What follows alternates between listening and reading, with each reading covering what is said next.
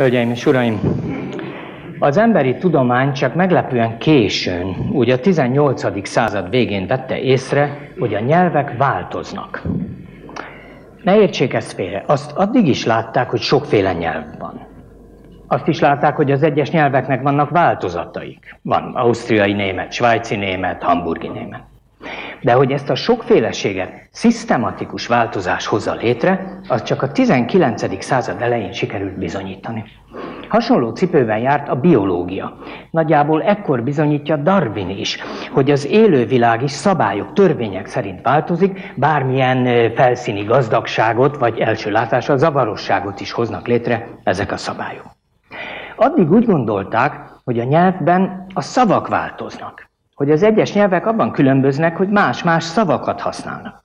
A nyelvészet egyik felfedezése tulajdonképpen akkor kezd tudomány lenni a nyelvtudomány, amikor észreveszi, hogy ez nem így van. A nyelvi változás mindig a rendszerre, és sohasem a szóra vonatkozik, mert a nyelv egy rendszer, nyelvtan, így is mondhatjuk, nem pedig szavak halmaza.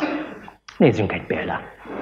Ha a finnugor ősnyelvben egy szó P-vel kezdődött, akkor a magyarban F-fel kell kezdődnie. Bármit jelent, bármilyen szófajú, vagy bármilyen nyelvtani szerepű. Például finnül pá, magyarul fej. Vogul nyelven pun, magyarul fon. Osztják pir, magyarul far. Cseremisz pu, magyarul fa. Ez igazi nyelvi változás, mert nem egyes szavakat, hanem egy kategóriát érint. A szókezdő P változik meg, nem ez, meg ez, meg ez, meg ez a szó. Az, hogy a finnugor nyelvek ma annyira különböznek, az sok-sok ilyen egy, egyenként szabályszerű változásnak az eredménye. Éppen ezek a szabályok alapozzák meg azt a szilárd tudásunkat, hogy a magyar finnugor nyelv. Az olyan változás, amely csak egyetlen szót érint, nem számít nyelvi változásnak. Például, ha jármű helyett holnaptól kezdve minnyáján vehikulumot mondanánk, ez nem volna nyelvi változás, csak egyetlen elemet érintő lexikális csere volna. A nyelvi változás a kortárs megfigyelő számára nehezen látható, hogy így mondjam, szabad szemmel nehezen megfigyelhető. Itt egy példa. A magyarban régebben az enny hang hasonlult az utána álló hanghoz. Így mondták torony, de fölment a toromba. Hány ember, de hány katona. Kormány, de kormányválság. Ez az ennyi hasonlulási szabály a 20. század elején megszűnt működni a művelt köznyelvben, csak a felvidéken él még ma is regionális szinten, ott művelt emberek is használják. A legtöbb beszélő nincs tudatában, hogy itt egy nyelvi változás zajlott le, amennyiben egy szabály törlődött. Ma az enny minden helyzetben enny, legalábbis a művelt magyar, magyarországi magyar köznyelvben. Tehát toronyba hány katona, kormányválság. Azután a nyelvi változás együtt jár más jelenségekkel. Az öregek beszéde például mindig más, mint a fiataloké, mert öregek. Azt mondja például egy agastyán. Na és erre mit is akarok, ja fiacskám, hogy fölmentünk a toromba. Igen ám, csak hogy a toromba ennyi hasonlulási szabály nem az öregség miatt van, hanem mert ő még a nyelvi változásnak azon az oldalán áll. Még nem következett be. Ő fiatalon is így mondta, mi viszont akármilyen öregek leszünk, nem fogjuk úgy mondani, mert mi ezt a szabályt nem használjuk. A harmadik ok, ami miatt a nyelvi változást nehéz megfigyelni, az írásbeliség.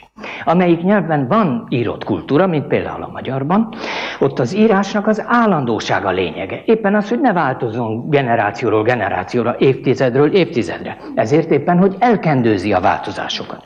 Például a magyar helyesírás nem veszi tudomásul, hogy az elipszilon, mint hang megszűnt létezni, hogy nem azt mondjuk már, hogy folyó, hanem azt mondjuk folyó, tehát jével helyettesítjük, az írás azonban továbbra is úgy tesz, mintha volna ilyen, mert az állandóságot fontosabbnak tartja, mint a hűséget.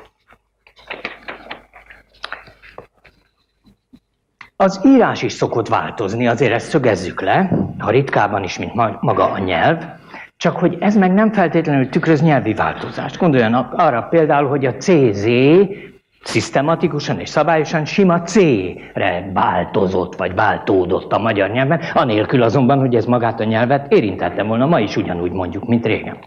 Az írás csak ruhája a nyelvnek, ember alkotta kódolási technika, melyel a hangzó nyelvet papíron igyekezünk hát megjeleníteni.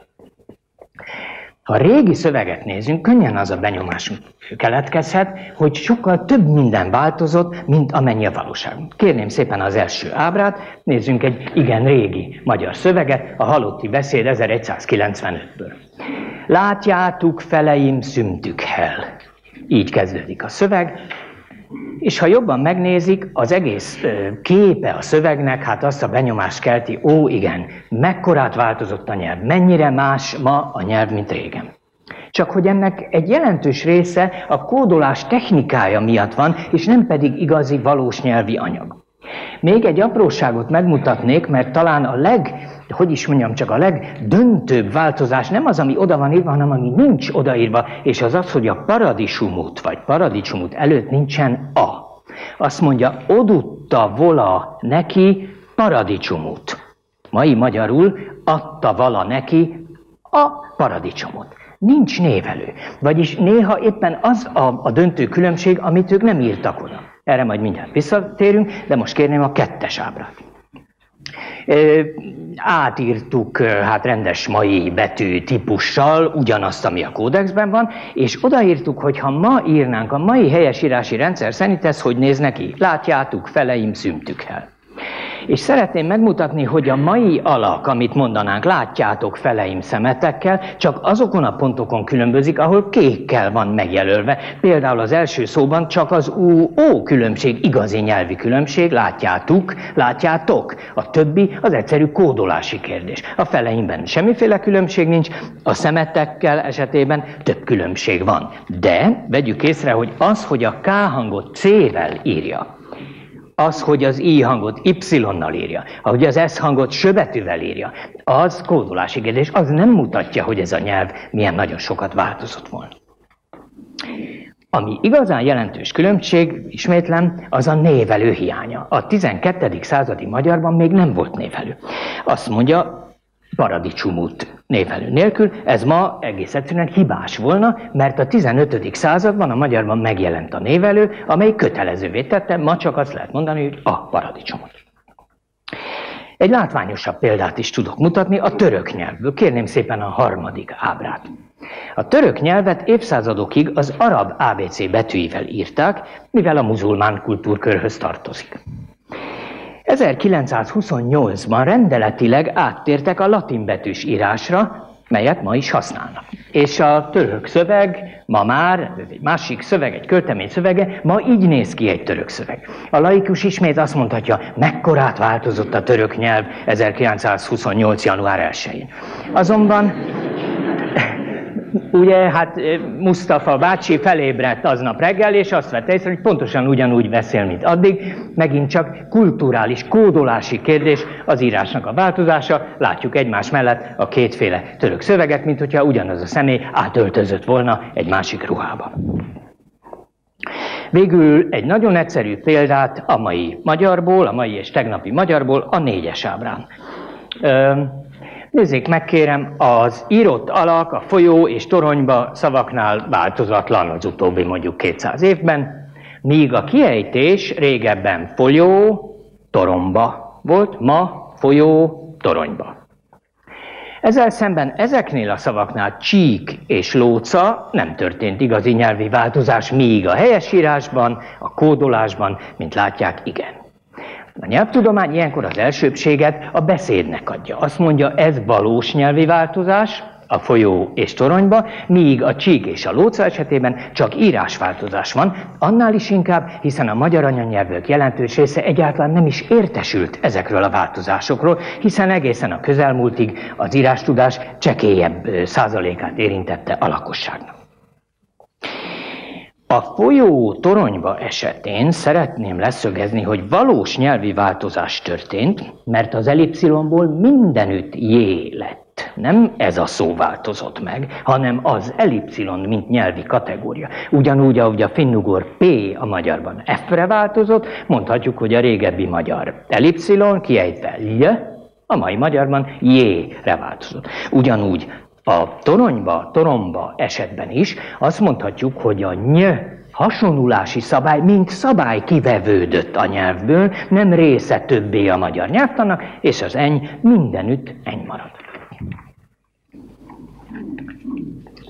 Ö, azt kívántam tehát bemutatni, hogy az írás változásával vigyázni kell, mert vagy valós nyelvi változást mutat, vagy nem.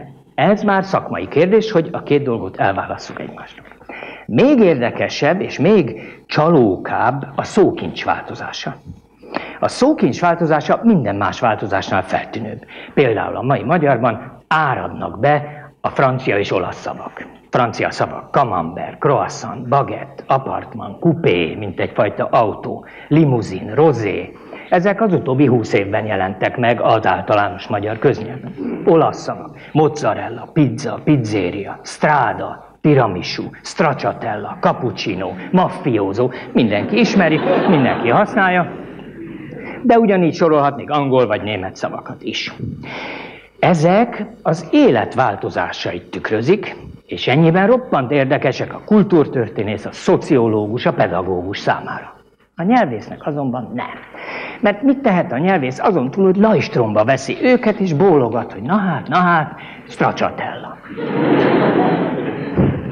A szókincs változásai ugyanis nem foglalhatók szabályba. Nincsenek ha, akkor jellegű kijelentések, amelyeket a szókincsről tehetünk.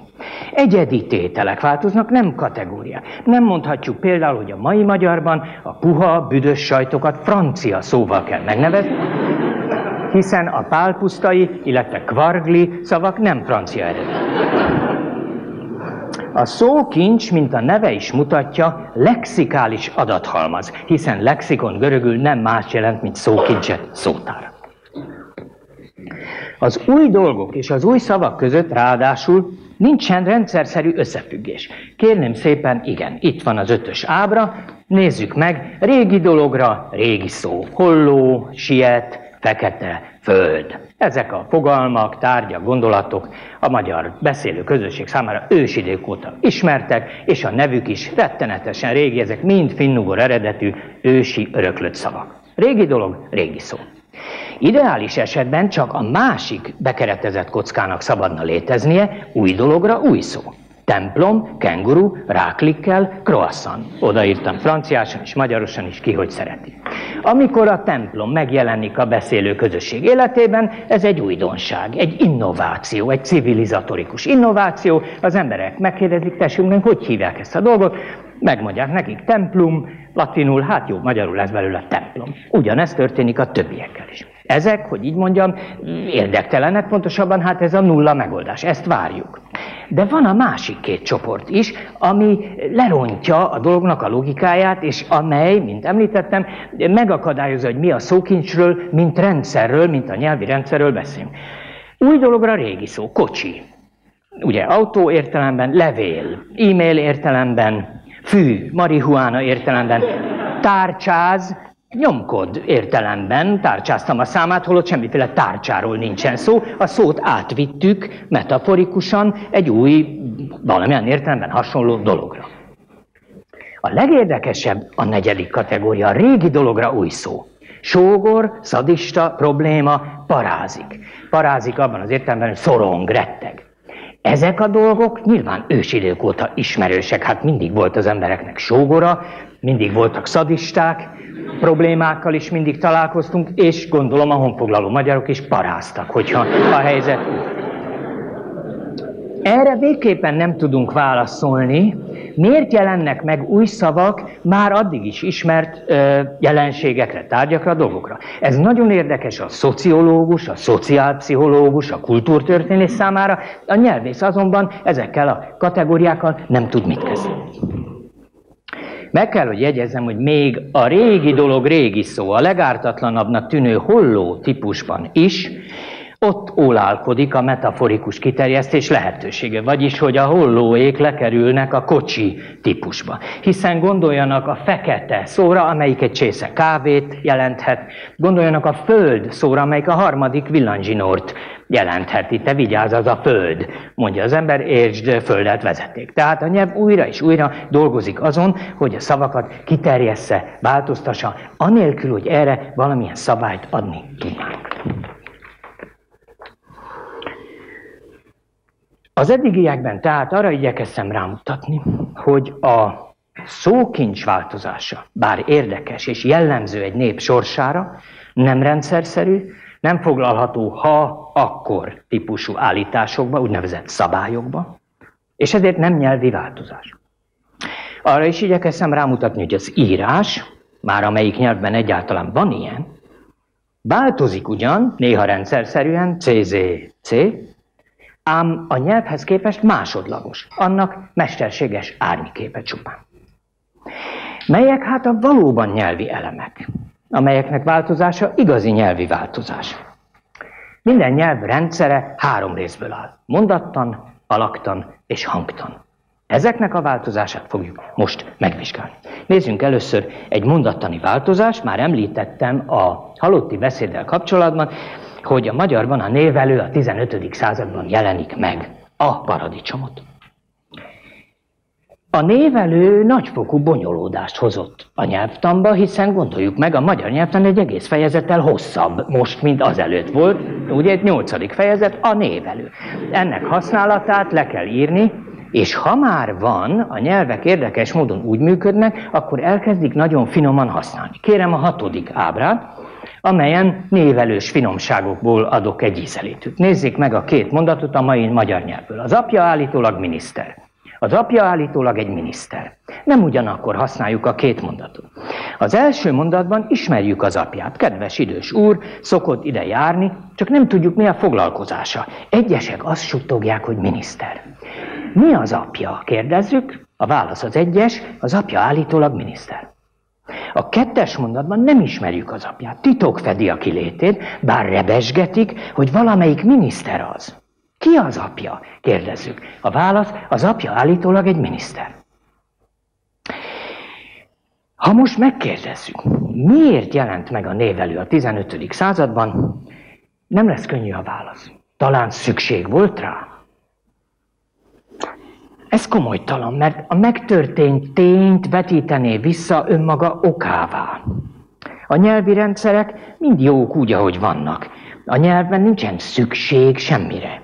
Gondolják meg, a cseh nyelvben nincs névelő, mégis ki lehet fejezni a határozottságot. A magyarban nincsenek nemek, mégis ki lehet fejezni, hogy valaki férfi vagy nő. Az angolban nincsen tárgyeset, mégis ki lehet fejezni, hogy melyik a mondat tárgya. Minden nyelv tökéletes rendszer. Nincs soha szükség a nyelvben semmire, ugyanúgy, ahogy a kígyónak nincsen szüksége lábakra. A szükséget tehát sajnos el kell vetnünk. A mást azonban nem látunk, mert hát a bonyolódás, jó, hát mondhatjuk, de most azért jelent meg a nével, hogy bonyolultabb legyen a nyelv, hát az embereknek elég bajuk van, mondhatjuk, nyilván nem kérik még a nyakukba ezt a fejezetet. Szeretném tehát, hogyha elgondolkoznának azon, hogy mennyire kevéssé racionális a nyelvi változás.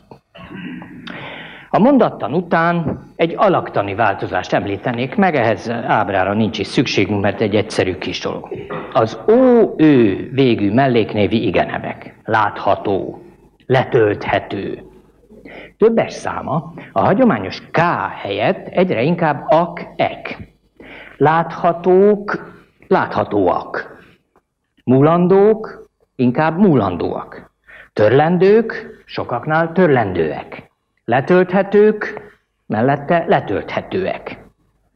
Ez a változás szigorúan szabályos, nem bármely ó-ő végű szó kapja, a beszélő pontosan tudja, hogy milyen stratégiát követ, csak is a melléknévi igeneveknél alkalmazza az is, aki nem tudja, hogy mi az a melléknévi igenév.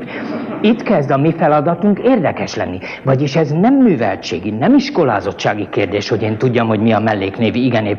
Valahonnan ez nekem, mint anyanyelvi beszélőnek be van építve az agyamba. Senki sem mondja azt, hogy darálóak senki sem mondja azt, hogy utcaseprőek.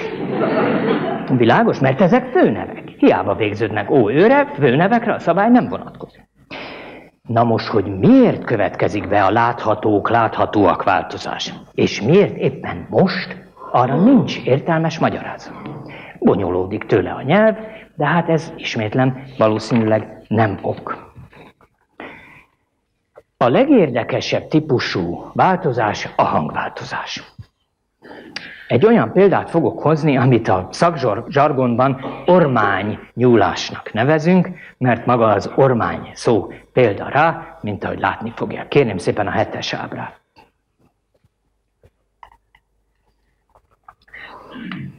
A magyar rövid o és ö hangokról lesz szó. Minden oszlop tetején az úgynevezett szótári bemenet látható, ahogy a beszélő a fejében levő szótárból, hogy így mondjam, lehívja a szót, amikor meg akar szólalni, ahogy ő tárolja. Legalul pedig a felszíni kimenet van, felszíni kimenetnek nevezzük azt, ami a száján ténylegesen kijön, amit mond. Nézzük az egyes és kettes oszlopot, és állapítsuk meg, hogy a magyarban van rövid o, forog, és van hosszú o, fórum, és ezek szabadon állhatnak a szavakban ott, ahol óhajtanak. Tehát a forog, bemenet, forog, kimenet, fórum, bemenet, fórum, kimenet, semmi érdekes.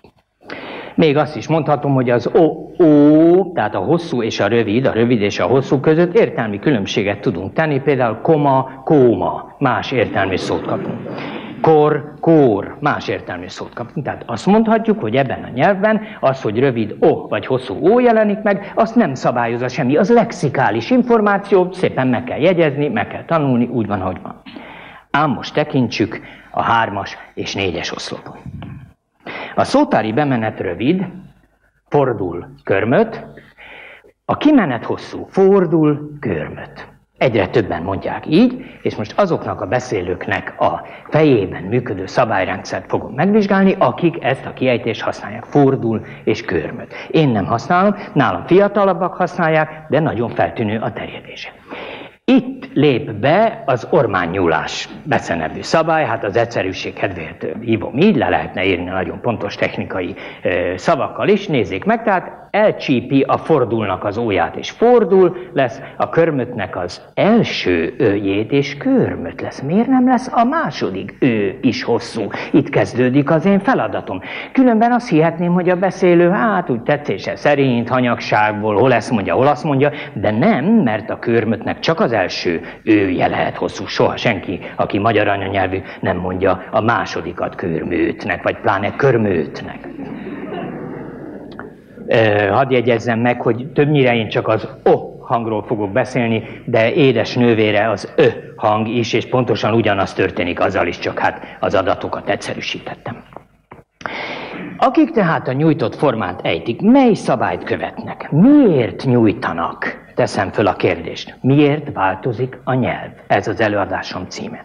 És most itt őszintén meg kell mondanom, hogy erre a kérdésre, mint nagyon sok más szaktudós is, valójában csak azzal tudok válaszolni, hogy azt mondom, hogy miért itt változik a nyelv. Milyen stratégiát követ az a beszélő? Miért nem nyújtja az egyesben a forog? Miért nem mondja senki azt, hogy forog? Ilyen nincsen. Pláne nem a második hangot forog, olyan sincs. A körmödben miért csak az elsőt? Mi akadályozza meg őt az egyik esetben, és mi hajtja a másik esetben? Erre olyan igazi okot nem tudok találni, ugyanúgy, ahogy a biológia se tudja megmondani, hogy a hüllők miért alakultak ki végül is. Hát ez talán hitkérdése, vagy valamilyen távolabbi filozófiai kérdés. De hogy hogyan, és miért akkor, és miért ott, és miért úgy, ezt nevezi tulajdonképpen a szaktudomány miértnek. Ezt be kell vallanom. Nézzük meg tehát. A válasz a kérdéses szavakban a kérdéses magánhangzót, a rövid O és a rövid Ö magánhangzót R plusz még egy másik más hangzó követi. A fordulban R, D, a körmödben R, M. Ez motiválja ezt a szabályt. Azt mondjuk tehát, hogy ez az ormánynyúlásnak becézett szabály, egy hangkörnyezet által kondicionált nyújtószabály. Az O, Ö megnyúlik R és más hangzó előtt. Szeretném fölhívni ismét a figyelmet, hogy a nyelvész számára a szabály szó. Nem valamilyen illemszabályt jelent. Nem iskolai nyelvhelyességi előírást, hanem a beszélők által öntudatlanul követett stratégiát. Nekem az a célom, hogy megvizsgáljam, ahogy a pszichológus sem csak az illedelmes viselkedésekkel foglalkozik. Tekintsük most az ötös és hatos oszlopot. A szabály logikusan működik. A kettős R is mással hangzónak számít. Nézzék meg, forrás, orra, működik az ormányúlás, forrás, orra. Ajajaj, ilyen alakokat nem hallunk, ez nem kimenet. Miért nem? Mert az így létrejött alakok sértenek egy másik szabályt, amit úgy nevezhetnénk, ne mondj két hosszút. Vagyis amely úgy szól, hogy a magyar nyelvben hosszú magánhangzó és hosszú máshangzó egymás mellett ne legyen. VV, kettős, dupla hosszúságú vokális magánhangzó, CC, dupla hosszúságú konszonáns. Tehát a VV az mondjuk O, a CC meg RRR, a szabály tehát azt mondja, szűrd ki azokat az alakokat, amelyek VVCC sorozatot, szekvenciát tartalmaznak, ne engedd őket ki a felszínre, mert ilyet a mai magyar nyelv nem óhajt. Na most két út áll előttünk, ugye, mert meg kell reparálni ezt a két alakot. Tehát a forrás és orra alakot meg kell reparálni. Két út áll előttünk. Vagy az ó visszarövidül, mondván, hogy jó, hát akkor áldozatul esik, a másalangzó győz, igen, ám csak akkor visszakapom a szótári bemenetet, visszakapom a forrás és orra szavakat, és akkor kezdődik előről az egész, és rekurzívvá válik a deriváció, és szegény beszélő sose fog tudni megszólalni, mert a fejébe ugye szalad körbe a, a deriváció. Éppen ezért a beszélő a másik stratégiát választja, lerövidíti a hosszú, vagyis dupla r szimpla r és így már a szűrő kiengedi a szót, és meghalljuk a felszíni kimenetben a forrás, óra szavakat. Például külső forrásokat kellett bevonni. Taknyos neki az óra.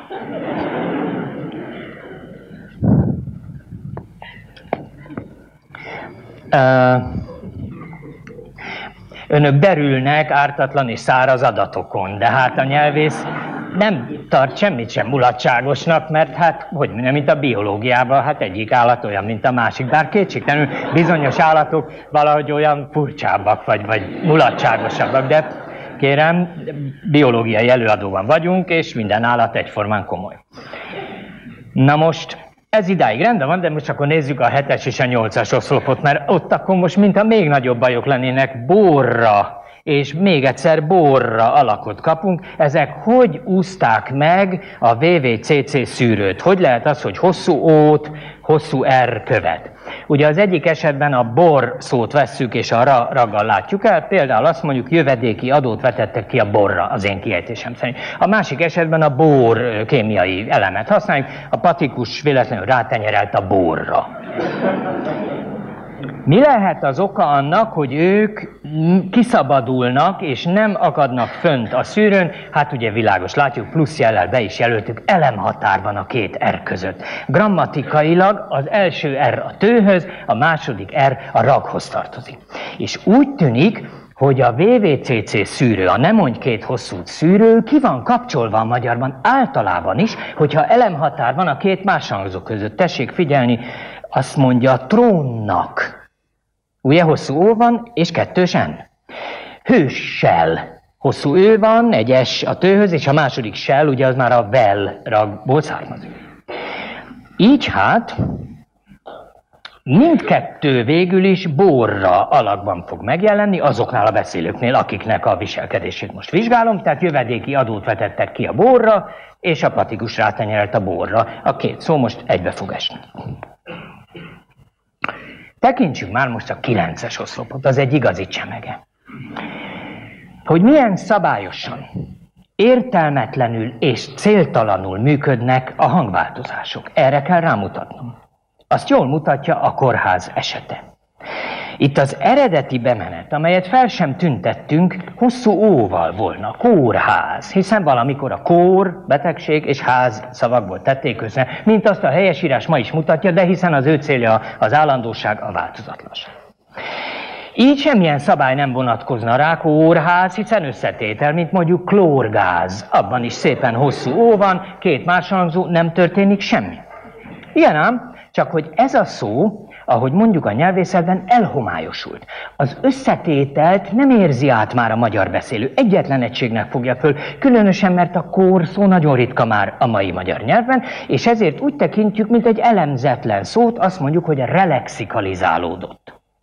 Vagyis újra betettük a szótárunkba, relexikalizálódott. Nem kór plusz ház többé, hanem kórház. Egyetlen szó, amit persze hát bele tudunk gondolni, de már az egy kicsit régészet, hogy ez régen mi volt, miből is származik ez a szó. Amikor két éves, három éves gyerekek vagyunk, ezt úgy tanuljuk meg, hogy ez egy szó, kórház.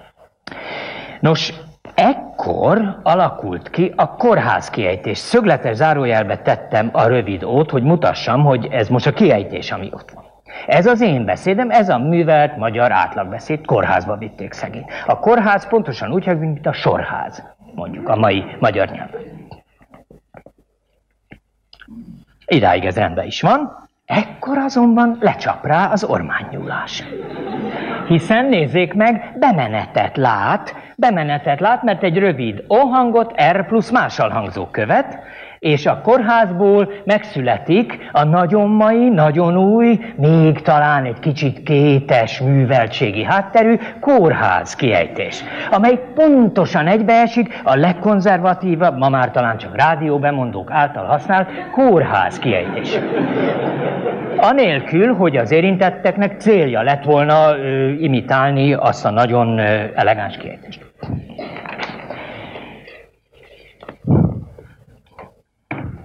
Sokan azt hiszik, hogy a nyelv az idők folyamán egyszerűsödik.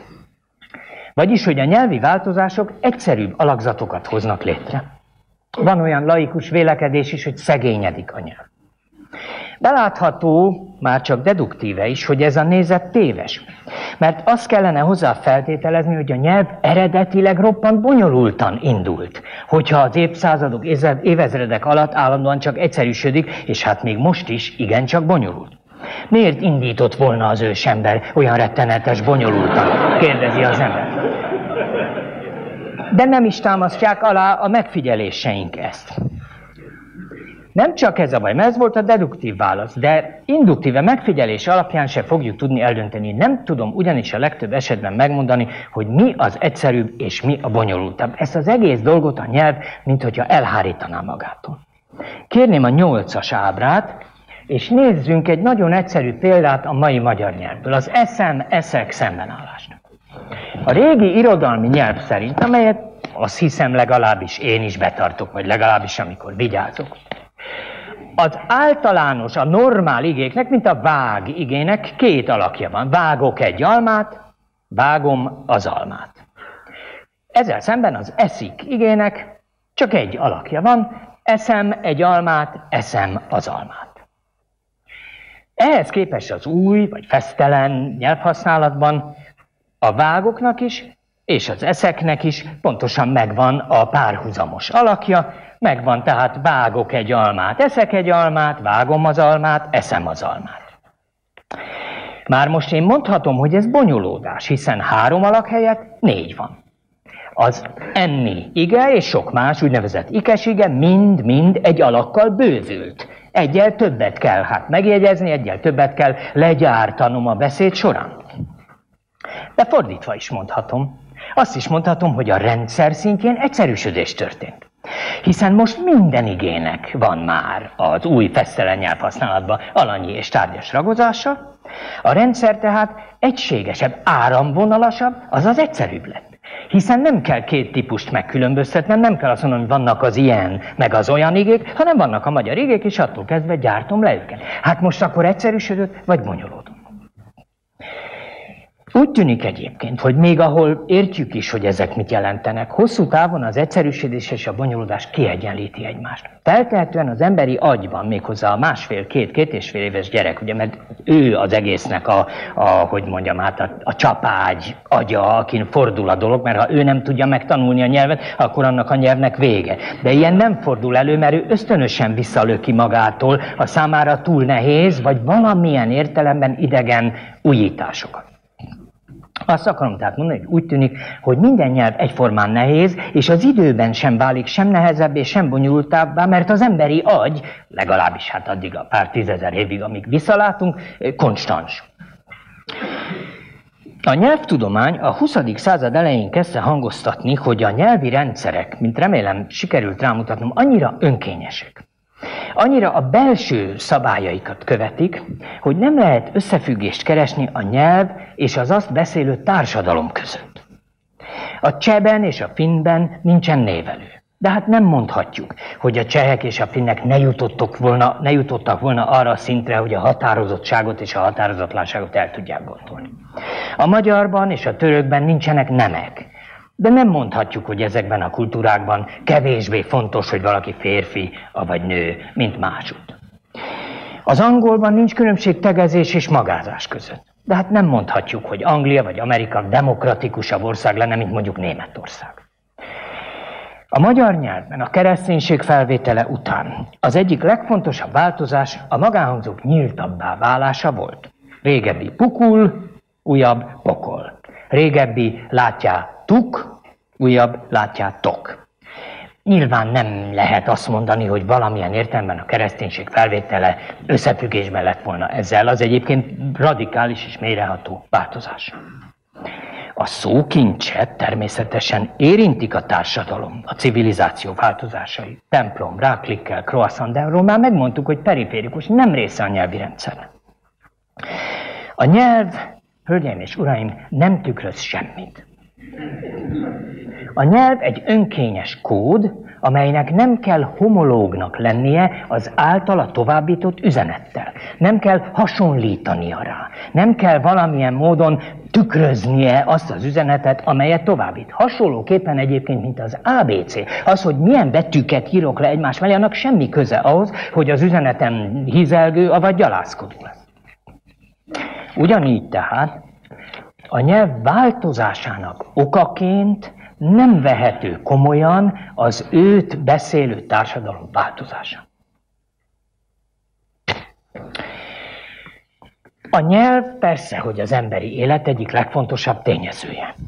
Érthető hát, hogyha a nyelv iránt sok laikus érdeklődik, és érzelmileg is viszonyul hozzá.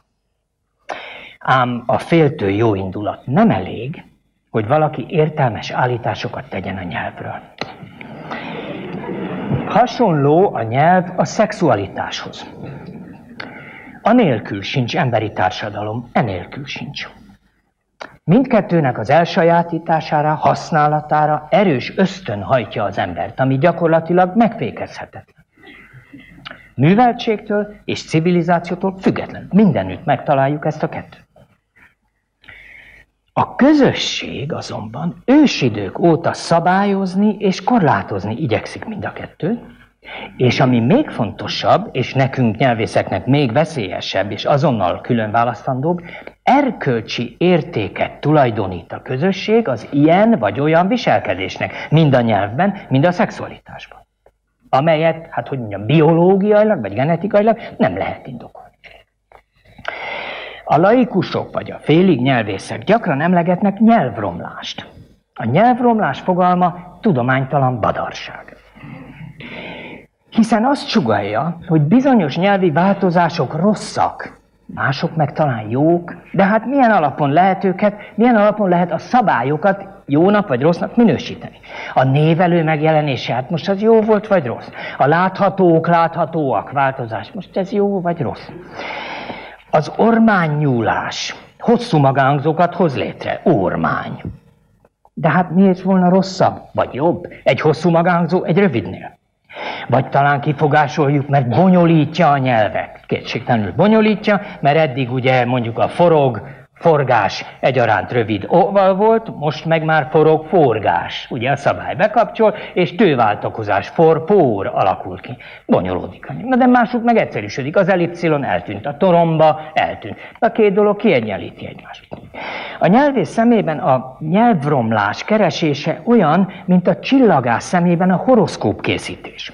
Az is csillagokkal foglalkozik, és nagyon sokat tud is róla, de emberi értéket, jót és rosszat tulajdonít a csillagoknak, és ezeket a csillagászat képtelen definiálni. Nem is az a baj, hogy nem hisszük el, hanem egyszerűen nem tudunk róla, mint csillagászok, már a, bocsánat, a hasonlatér egy ilyen komoly tudományal, tehát érthető, ugye, mint nyelvészek, nem tudjuk, nem értjük, nem tudjuk definiálni. Még akkor is egyébként, hogyha lelkünkben, életünkben befolyásolhat minket az, hogy valakinek a szájából olyan nyelvi formát hallunk, amely társadalmilag hát meg van bélyegezve, ahogy bizonyos szexuális viselkedésektől is visszariadunk, de nem azért, mert mint biológusok vagy genetikusok így gondolnak. Egyébként a legbecsületesebb magatartás akkor már az, amelyik azt mondja, hogy mindig minden nyelvi változás káros. Ez legalább egy férfias hozzáállás. Mondván, hogy egyszerűen azért, mert megváltozik a nyelv. Kérem, ezt, ezt, ezt lehet vallani így, de hát a nyelv, mint látják, nem olyan. Egyszerűen nem lehet megállítani. Amíg élő nyelv, amíg beszélik, addig nem változik. A mai magyar nyelv egyik legkiválóbb használója Eszterházi Péter. Néhány hónappal ezelőtt itt tartott remek előadásában megemlített négy szűrőt, melyek érzése szerint megkülönböztetik, hogy mi a jó és mi a rossz nyelv használata. Itt van Eszterházi négy szűrője. Nehezményezte, hogy nagyon gyakran és nagyon üresen használják a markáns véleménykülönbségi kifejezést. Azt is nehezményezte, hogy emberek, talán elsősorban politikusok azt mondják, hogy ilyen vagy olyan értékek mentén politizál ez a párt. Nehezményezte az egy párt, aki típusú szerkesztést, valamint az alkalmasint szónak alkalomattán értelemben való használatát, szemben a hagyományos vélhetőleg használat helyett.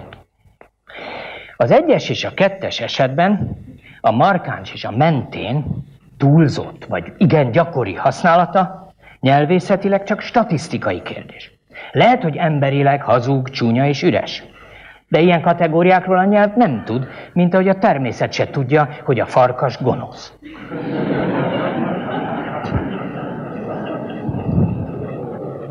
A négyes, az alkalmasint, valós nyelvi változás. Módosul egy szónak a jelentése, amelyet felróhatunk azoknak, akik módosítják a jelentést, azon az alapon, hogy műveletlenek. Nem olvastak elég régi magyar szöveget, de hát a műveletlenség nem nyelvhasználati kérdés, nincs jelentős. Nem tudom mi az, értik megint, mint a horoszkópban. Én, nekem ilyen terminusom nincsen. De kétségtelen ez egy, egy elemet érintő lexikális változás. De a legérdekesebb az egy párt, aki az ugyanis egészen más. Az egy valós nyelvi változás, mert egy szabály megváltozik. A régebbi szabály azt mondja, hogy csak a természetes személyeknek adjuk meg a személy jegyet, az aki jegyet, tehát egy ember aki, egy mérnök aki, az a kislány aki, tehát igazi természetes személyek. A módosult új szabály a személyes jegyet kiterjeszti csoportra, testületre, sőt magasabb rendű állatra is. Példák. Egy párt, aki a zenekar, akinek számos lemeze, stb. Olyan családok, akik segélyt kaptak, az a bank, aki nem emel kamatot, épp a katolikus egyház, aki történelme során, illetve behoztak egy kutyát, aki részeg volt. Figyelem, ma sincs olyan, hogy a bank, aki előtt a baleset történt. Vigyázat. Nem arról van szó, tehát, hogy az emberek össze-vissza használják a vonatkozó névet. Nem, nem, nem, mert ez a bank nem emberek csoportjára, nem testületre, hanem egy épületre vonatkozik. Most én mondhatnám tréfásan, hogy íme hogy gazdagodott nyelvünk, milyen finom különbségtétel. Eddig a bankra mindig csak az, amely szót lehetett használni, most pedig egy szubkategorizáció jelenik meg a bank típusoknál, meg kell különböztetni, hogy testület vagy épület, és az szerint kell a különbséget tenni, és úgy tűnik, ezt minden mai beszélő e, csinálja. Talán már az eddigiekből is kiviláglott, Nem tudjuk, miért változik a nyelv. De azt kötelességünk vizsgálni, hogy hogyan. Erről nagyon sokat tudunk is. Fontos, hogy elutasítsuk az ezzel kapcsolatos téves feltevéseket. A nyelv nem romlik és nem javul. Nem egyszerűsödik és nem bonyolódik. Nem szegényedik és nem gazdagodik. Nem lesz szebb vagy csúnyább, bármit is jelentsenek ezek a szavak. Nem követi és nem tükrözi a társadalom és a gondolkodás változását. Én most igazán a nyelvről beszélek. A névelő nem azért jelent meg, mert az emberek valahogy másképp gondolkoztak, mert a reneszánsz hajnalán volt. A szakirodalom meg szokott említeni néhány jellemző okot. A kiejtés könnyebbé válik. Elipszilon, eltöröljük, mindig jét mond. Analógia. Vágok egy almát, eszek egy almát. Legyen egyforma, menjen végig a rendszer. Az egybeesés elkerülése. Ők várnák a vonatot, akkor ne az legyen, hogy én várnák egy vonatot, amit a szabály akarna adni, ugye a harmónia szabály, hanem épp, hogy kificamítjuk, én várnék egy vonatot, jó lehet a két magánhangzó nem harmonizál, de ne essen egybe ez a két igen. Ám a szakirodalom maga is bevallja már a következő oldalon, hogy nem tudja megmondani, hogy máskor, másút miért nem következnek be hasonló változások. Márpedig a tudományos szabályokatásnak az a próbája, hogy meg tudja mondani, hogy miért nem történik meg, amikor nem történik meg. Az ormánynyúlás nem könnyíti a kiejtés, hanem éppen, hogy bonyolítja. A ban-ba változás, Sopronba élek. Az analógiát éppen felborítja a hol és hová típusú párhuzammal. Az ő eszik valamit, és az ők eszik azt. Száz és száz igénél okoz egybeesés, és a nyelv szemmel láthatólag semmit se tesz annak érdekében, hogy ezt kiküszöbölje. Így hát ezek sajnos olyanok, mintha azt mondanánk, hogy az elefántnak azért nyúlt meg az ormánya, most fizikailag, hogy föl tudja szedni a földről kényelmesen a táplálékot. Ekkor azonban meg kéne mondanom, hogy a többi állatnak is, beleértve minket, miért nem alakult ki ormánya. Talán nem is érdemes a nyelvi változás okain töprengeni, mert nincsenek értelmes okok. Valószínűleg azért változik a nyelv, mert nincs, ami visszatartsa bizonyos korlátok között. Nincs akadálya, hogy a generációk vagy a térségek módosítgassanak rajta, mert úgyis csak annyit tudnak módosítani, hogy ne sérüljön a kommunikáció. Elsősorban szülők és gyerekek között.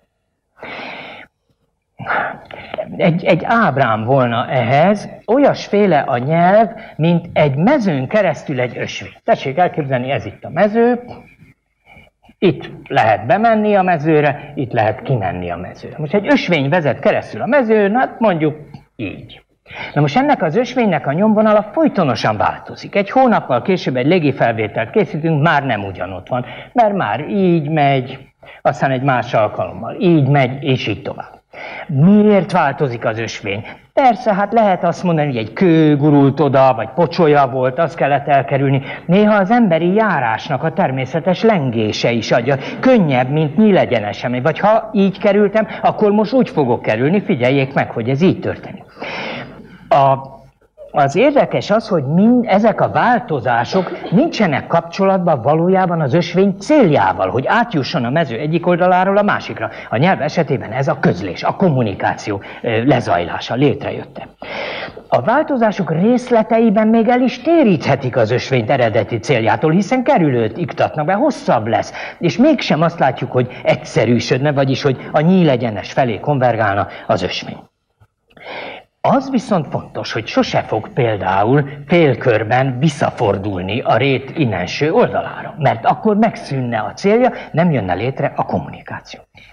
A nyelv esetében tehát az, hogy a rétnek a másik oldalára átérjek a közlés, és minden változás közepette ez szemmel megvalósul. Köszönöm szépen.